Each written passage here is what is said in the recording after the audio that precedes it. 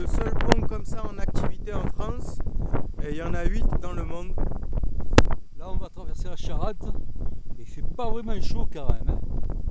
Voilà, ça caille. On est euh, sur un genre de gros pont roulant en fait.